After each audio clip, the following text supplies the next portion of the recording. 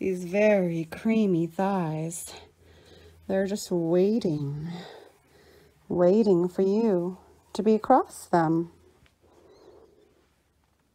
So, I suggest you do exactly what I tell you to do, naughty boy.